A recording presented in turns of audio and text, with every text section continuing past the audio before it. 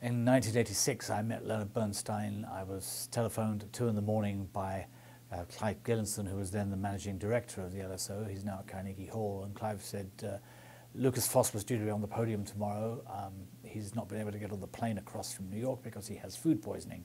We need someone to stand in. Um, would you turn up at 10 o'clock tomorrow morning and take it from there? And I said, I tried to appear a little bit modest and said, um, yes. And I turned up at 10 o'clock the next morning and rehearsed the LSO, uh, the London Symphony Orchestra, all day. In the evening, I went and conducted the premiere of my own ballet score, The Snow Queen, with Sadler's Wells Royal Ballet at the Birmingham Hippodrome. And then I caught the train to London the next morning for the dress rehearsal with the LSO.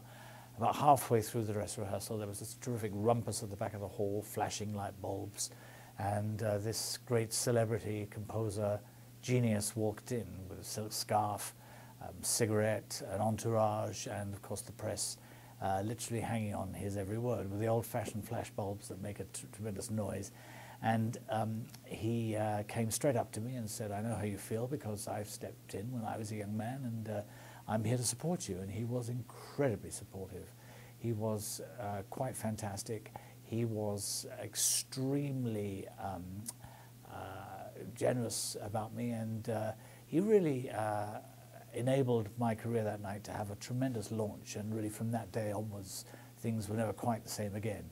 Pretty terrifying for Bramwell Tovey to have to come oh, back for the marvelous. first time with you at his shoulder. He is a great hero of mine now. I mean, I've never met him before this morning, but I, he's become one of the great people of my life. Listen, let me just interrupt. I will never interrupt again. It's so much better. I just have to interrupt to say that it makes it's like night and day. Just that little difference. Mm-hmm. But you still have to give more time for ba ba da ba da ba ba. Right.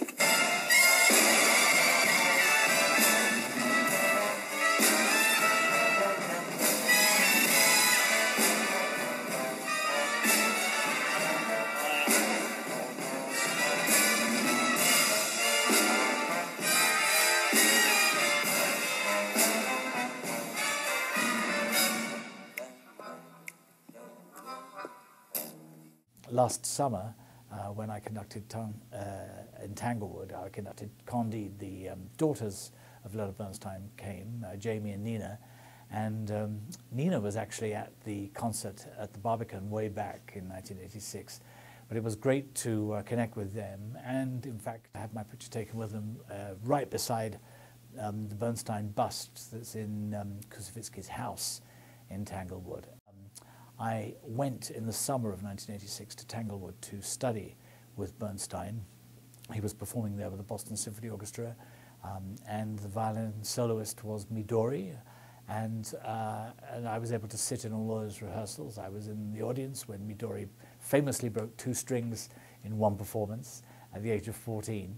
And um, it was a tremendous uh, fillip for me musically and personally and uh, intellectually. Uh, extraordinary to be within the orbit of that genius.